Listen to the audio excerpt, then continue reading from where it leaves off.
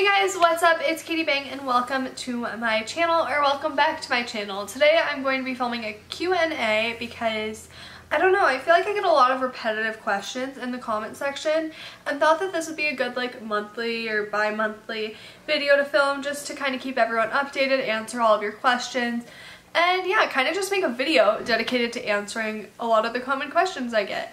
So first off, make sure that you like and subscribe to join the Bing Bunch. And yeah, I'm just going to get right into it. I posted on Snapchat and the community tab to ask me questions. So I'm going to start with the community tab and then I'll pick a few off of Snap.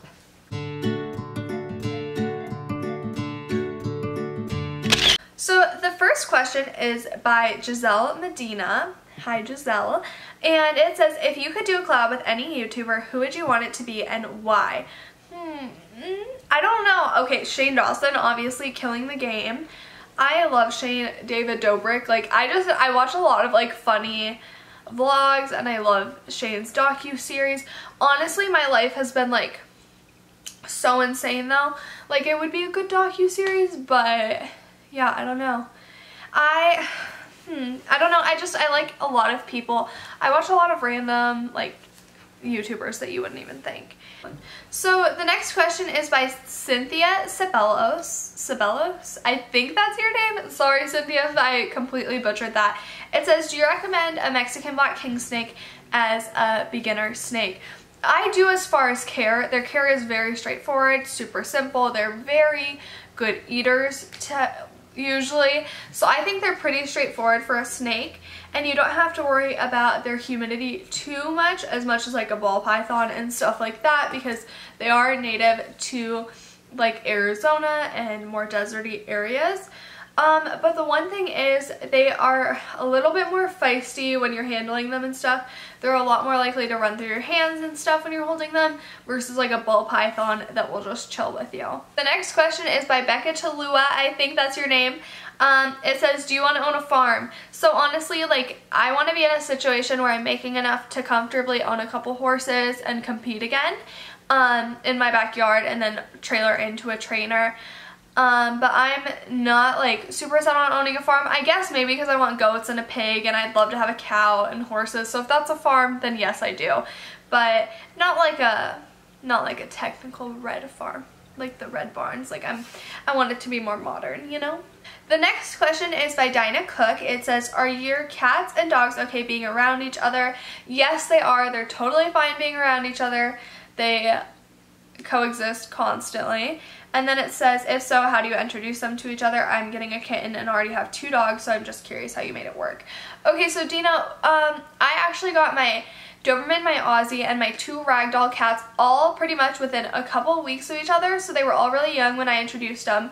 But when bringing a new dog in, I always like to make sure that they give the cats a lot of space because for the dog world, space is respect. So I just make sure that they give them a lot of space to start off. I always do things slow and steady.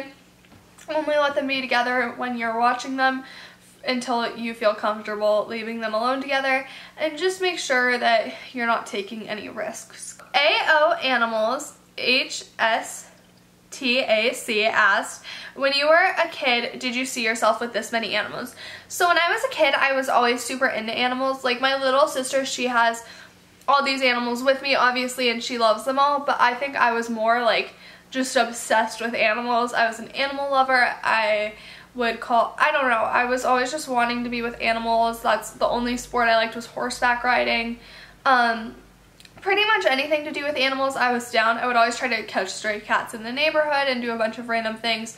So yeah, I was always super into animals. I didn't know it would ever get to this point where I had so many and was making um, YouTube videos and stuff like that, but I totally have always been obsessed with animals, and I don't really think that like when you're little you're always like, oh, I'm gonna own like this and this and this, but you don't know if it'll actually happen, and it's kind of happening, so that's kind of cool. Michelle Wyatt said, how did you become a YouTuber, and how did you start? So I kind of just decided like I love animals so much and not a lot of my friends and stuff had the same interest in me so I started making videos so I could meet people that had the same interest and I could talk to them about it and kind of have my own little community of people that like what I like. So Mars and Brown said, what's your favorite kind of animal and do you think you'll get more animals? So my favorite kind of animal, I really like sloths. Um, hmm, I love elephants, sloths. I'm trying to think. Yeah, probably sloth right now.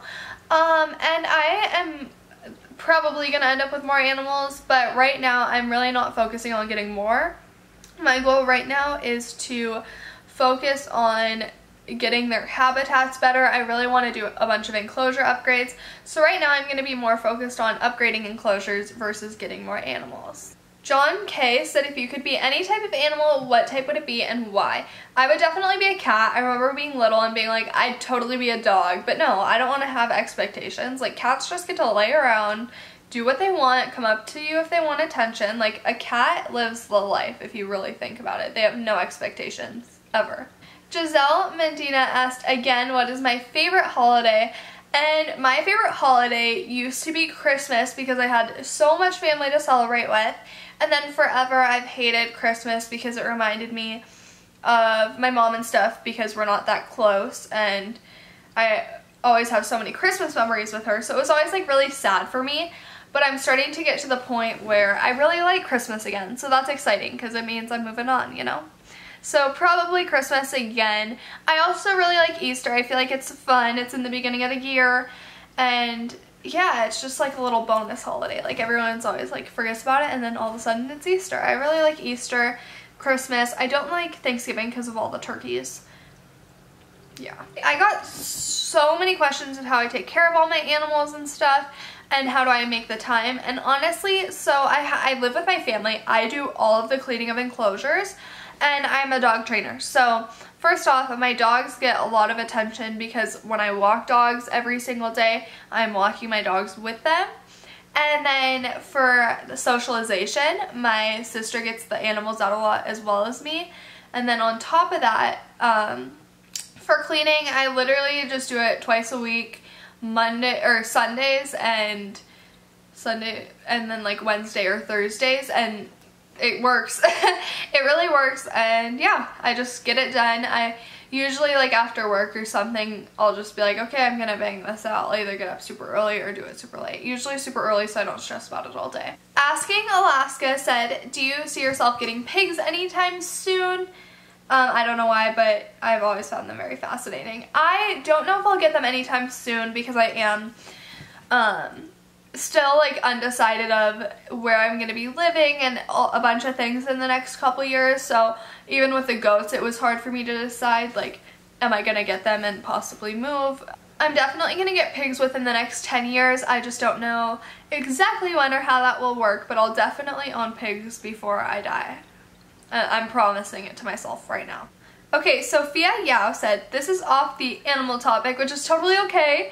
Um, but how old are you and when is your birthday? I'm 18 and my birthday is June 23rd. I'm a Cancer for all the Zodiac freaks out there. I love Zodiac. That's why I said Zodiac freaks um, because they're my favorite.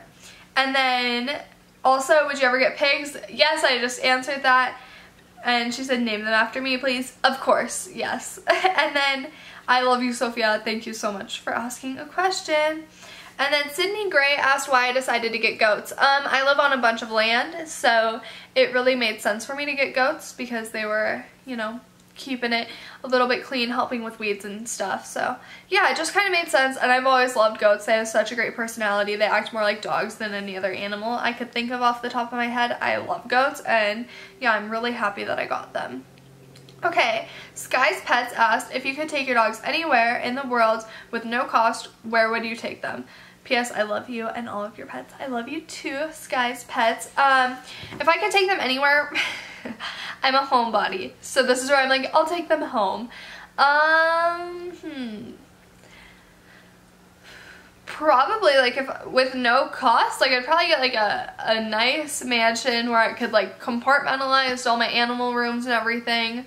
Nice backyard with a nice stable, but on vacation, hmm I don't know. I really like like foresty places. Probably like just camping. I, I love to recharge and get off the electronics. So um, it might be fun to go somewhere up north where it's like woody, woodsy and like there's a forest and a cabin. I love log cabins. I really want to live in a log cabin. And I can just like let them off leash and let them run around. Yeah. Probably camping with a cabin. Glamping. Glamorous camping.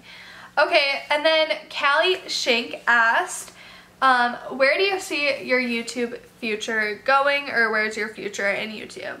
I don't know at all. Um, I didn't really expect to even get to like close to 10,000 subscribers so uh, it could totally keep growing and it could totally not. I don't really know what's going to happen but I'm really enjoying everything as it happens and not taking anything for granted. So yeah, I hope that we keep growing and we have an amazingly huge family. Um, but if not, like I'm totally fine with that. I never really had any expectations with YouTube. I just have always wanted to show people how much I love animals. And yeah, I'm going to continue to do that. So thank you guys so much for watching. I appreciate you more than anything. Uh, I'm not going to do a creature call out this video because I was pretty much saying everyone in the video. And I, I think if I mentioned you, you're probably watching this. So thank you to everyone that asked questions. I love every single one of you. And I will see you next video. Bye!